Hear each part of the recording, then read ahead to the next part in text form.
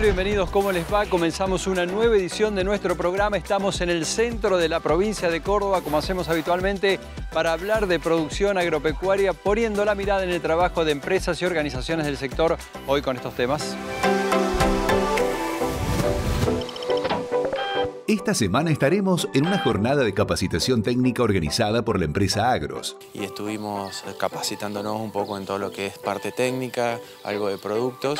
Tomaremos además algunos conceptos de lo que dejó el Congreso Internacional de Maíz en Córdoba. Y sí es el camino estimulando la producción para generar mayor cantidad de, grano en volumen. Pasaremos también por la actualidad del CREA en el norte provincial. Uno de los objetivos de trabajo que venimos desarrollando, este es el sexto año, de hacer un análisis de campaña ganadera. Estuvimos en la jornada Un Productor en Acción, evento desarrollado por la Regional Montecristo de APRESID. Eh, salud física del suelo, también fertilidad química, eh, carbono y huella de carbono este, y prevención de accidentes a campo, que eso también es algo muy, muy importante para nosotros. Y con Fernando Esteban tomaremos la actualidad de la apicultura por estos días. Y ya en octubre estamos esperando claramente el tema de qué precios va a manejarse en esta temporada con la miel. Presentados los temas, comenzamos Campo Activo de hoy. Y de los avances nos metemos al desarrollo de todo el material de hoy. Empezamos con el espacio de capacitación desarrollado por la empresa Agro con los distintos gerentes comerciales de esta compañía a lo largo y ancho del país. Tomamos parte de los temas desarrollados en este espacio de capacitación. Walter, estuvieron trabajando dos jornadas de capacitación. Básicamente, ¿qué es lo que plantearon desde Agro con el equipo comercial de la empresa?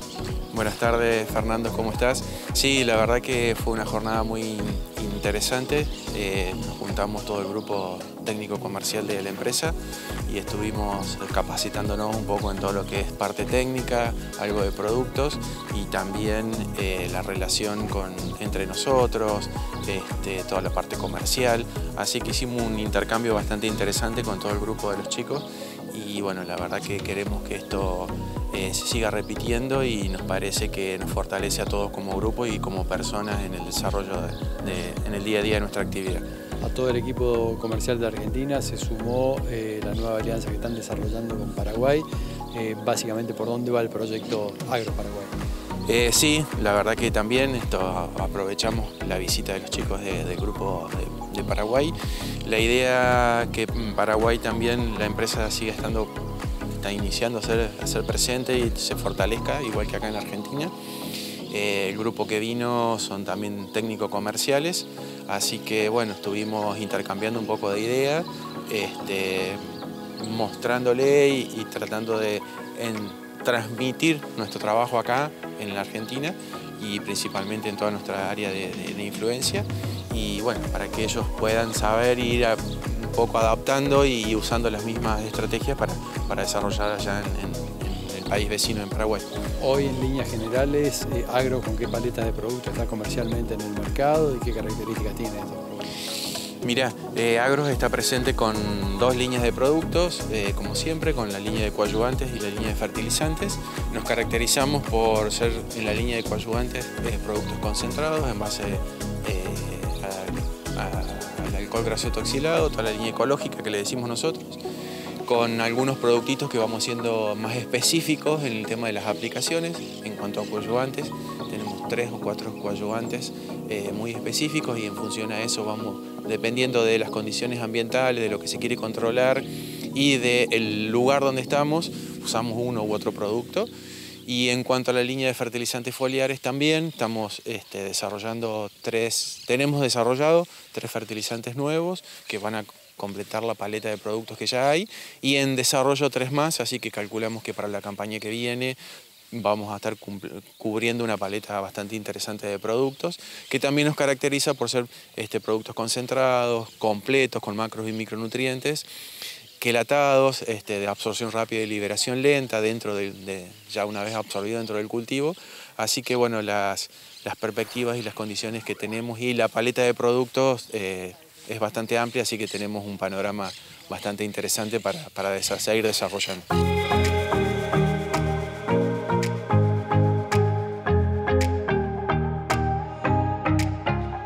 Ahora al marco del primer Congreso Internacional de Maíz. Le traemos algunos de los contenidos desarrollados durante estas dos jornadas de trabajo que se estuvieron dando hace algunos días en Córdoba Capital. Eh, en esta zona justamente donde estamos por ahí un poco más alejados de los puertos y donde es imperioso y más necesario transformar ese maíz, creemos que es donde está el mayor potencial para arrancar lo que debería ser una revolución para la Argentina, que es transformar mucho más del maíz que se produce.